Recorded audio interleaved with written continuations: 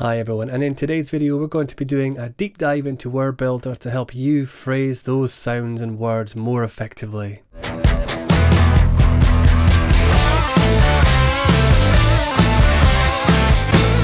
Hi, I'm Euan and welcome to Euan Smith Music. If this is your first time here and you would like to make your music masterpiece, then please don't forget to hit subscribe as well as the bell notification so that you get informed of when I next upload a video. I've had lots of questions about East West's Word Builder feature within the Play plugin, and that's something which I've been dabbling around with, and hopefully this video is going to help show you a little bit more information. Of course, I will leave that previous video up in the top right hand side as well as down in the description below. Well worth checking out that video if you want want have a little overview as to what the Word Builder plugin is. So over in Logic then you can see that I've managed to load up a track and I've also loaded up an example of the Play plugin. You'll see that I'm hovering over one of the sounds here and I'm going to select Hollywood Choir's Diamond and I'm going to choose the Men WB Multi. WB stands for Word Builder. This will not work in any of the other groups of sounds that you can see here. I then click add. I'll wait a few seconds for that to add.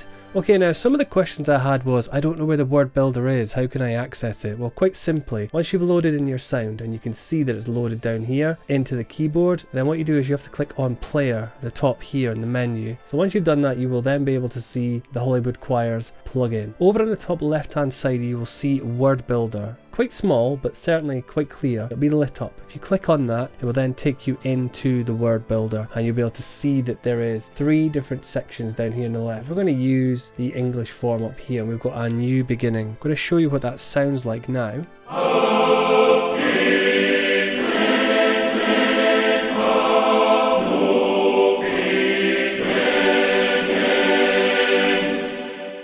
So you can see in here that that's fairly standard sound. Now we're going to try and tweak this to make it sound even more realistic. I would highly recommend that you download in the description below and certainly on the screen now this link to this particular document and it will show you how to master the phonetic alphabet. All the reference points are in there so this will help you as you are using Word Builder.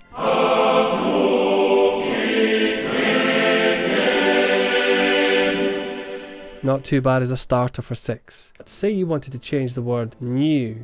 So in my ears, the way I would sing new, a new beginning. Some choirs would sing that, some would sing a new beginning. What we then do is we can change that. So at the moment, we've got different options. So if you wanted to sound O, like as in orange, which we don't, you would use a small O. If you wanted it to sound more like oo, as in blue and pool, you would use different versions, one of which is U apostrophe. So let's try that.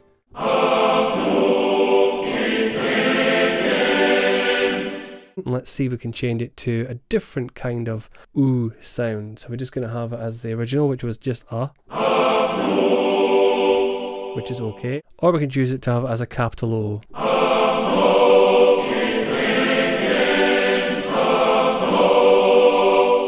So you can see which of those versions you would like. Notice I'm using the small case.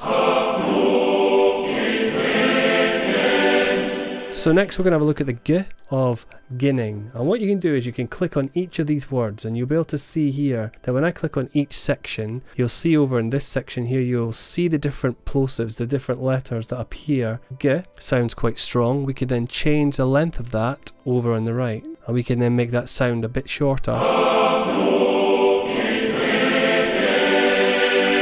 So it sounds less harsh than the original versions. Before that we've got the A, so if you didn't want the A to sound too long, we could shorten that as well. So if you wanted to try and create different effects, or staccato effects and things like that. Well, I would like to hear more of the ing at the end. So what we can do is we can then select the ing, the ing sound, got the I and the N and the G. So.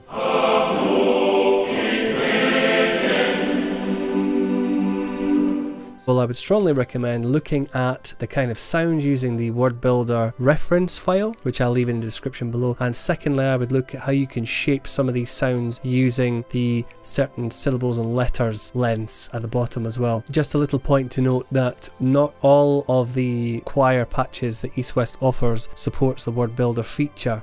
For example, Voices of Soul, Voices of Passion, Voices of Opera do not have a word builder feature at present because they are mainly for solo vocals and the word builder feature only supports the choirs, the ensemble features where that's applicable. Let's go and try an example in backup singers and we can see how we can shape the sounds there with the different types of voice.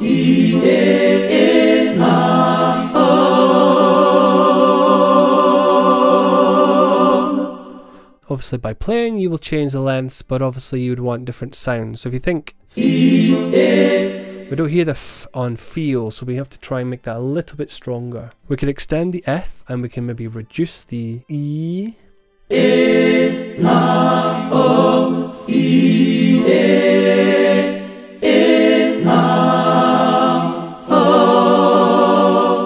Extend the T.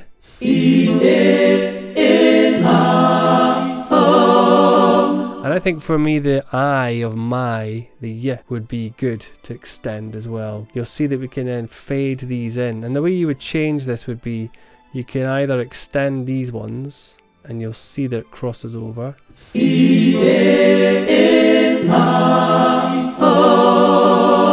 That's very good. And I think this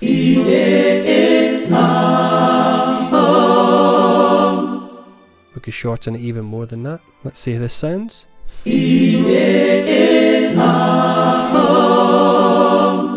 Much, much better. And let's make more of the L of soul. So we click on the L.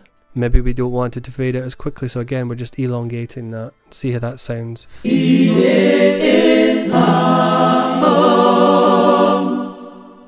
Much more realistic. There are the stock phrases that you can use. Phrases are specific to each library. So you can see in the case of the backup singers, you've got various phrases, pop phrases, soul phrases, common words, and gospel phrases. If we go back into the previous track, so if we go back into the male multi-track and we go into word builder, you'll see there are far more phrases that you can call upon. Spanish phrases, English phrases, Latin, German, Italian backup. And you can see the backup singers is grayed out because it's specific to that particular library. Basically take the feel it in my soul and then add to phrases. And here you can just give your file a name, give it a place to store it, and then you are good to go. Again, if you are writing large scale choral works, obviously you might want to plan out your lyrics, but then if you paste them all in and you just have a playthrough like I have done, what you'll then be able to find is if you can make it even more realistic. Everyone's ears are different, so some might find the sound straight out of the box quite good, and some of them are. So hopefully by now that gives a much clearer overview of how you can then tweak the sounds in Word Builder. And don't be afraid, just have a go. If you have any more questions, especially as the Word Builder video is fast proving to be one of my more popular videos on my channel, then hopefully some of these little demonstrations and tips have helped you. If they have, please drop a like, a thumbs up down below, and if you've got any further questions, then please do drop those in the comments too, and I will answer every single one of them. And I look forward to seeing you next Sunday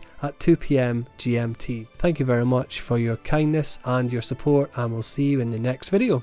Cheers for watching. Bye.